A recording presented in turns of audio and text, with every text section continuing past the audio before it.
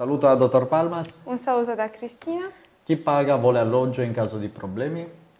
Nel caso di problemi non vengono mai rimborsati il volo e alloggio, soltanto nel caso in cui durante la prima visita del paziente eh, viene scoperto che la colpa è stata del medico e dei lavori eseguiti male. In quel caso paghiamo l'alloggio e il paziente alloggia da noi i giorni necessari per il rifacimento delle cure senza pagarci. Negli altri casi se il paziente si mangia il parmigiano e strappa le bottiglie con i denti, ovviamente noi non rimborsiamo niente.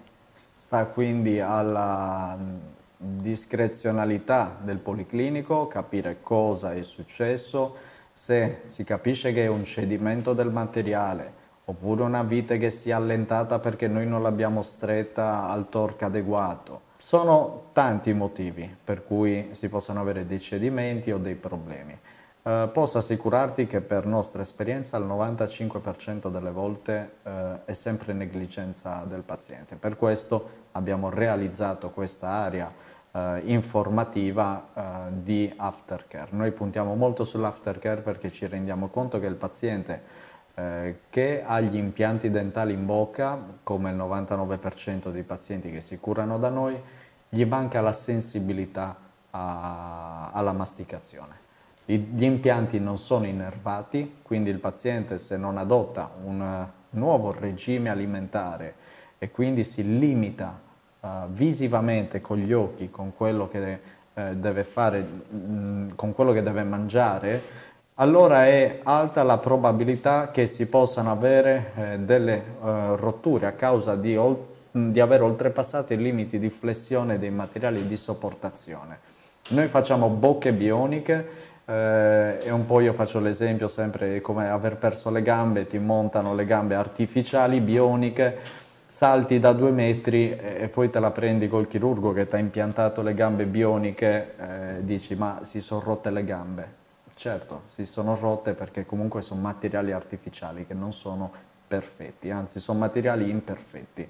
Come tutti i materiali artificiali hanno dei limiti di flessione, dei punti di sopportazione che se sorpassati portano alla rottura. Eh, noi ci rendiamo conto mh, mm, che eh, il paziente ha bisogno di soluzioni.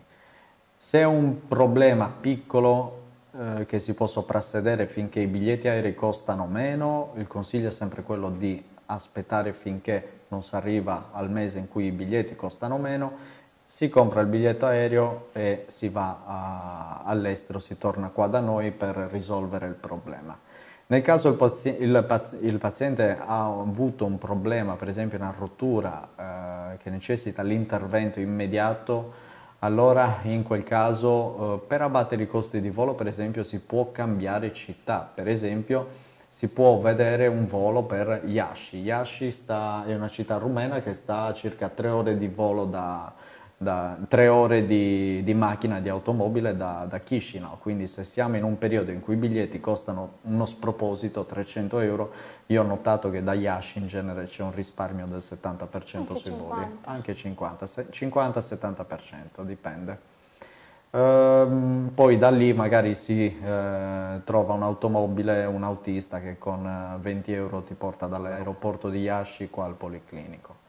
Uh, per um, invece altri problemi che, per cui non è necessario venire qua al policlinico, uh, ci sono dei centri assistenza che stiamo attivando, ci stiamo convenzionando con delle, degli studi dentistici già esistenti, Roma, Milano, anche altre città prossimamente, dove noi chiediamo di applicare un listino base prezzi calmierato dove il paziente va lì, risolve, non perde giorni di lavoro, o di ferie, paga direttamente il professionista quella che è la risoluzione del problema, loro adottano i nostri stessi protocolli, eh, in più quando sono nuovi centri facciamo anche dei giorni qua in Moldavia dove gli facciamo vedere i nostri protocolli di modo che ti possano risolvere nella tua città il problema comunque prendendo un treno si raggiunge facilmente Torino oppure Milano o Roma.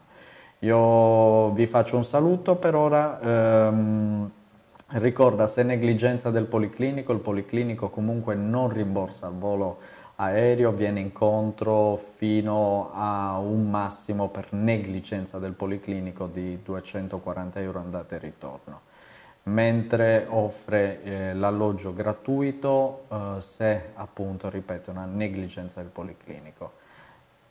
Qualora invece siano problemi dovuti a negligenza del paziente, il policlinico non offre alcun rimborso volo eh, alloggio qua in Moldavia un saluto. Nel prossimo video vedremo uh, se si possono risolvere i problemi in Italia e come.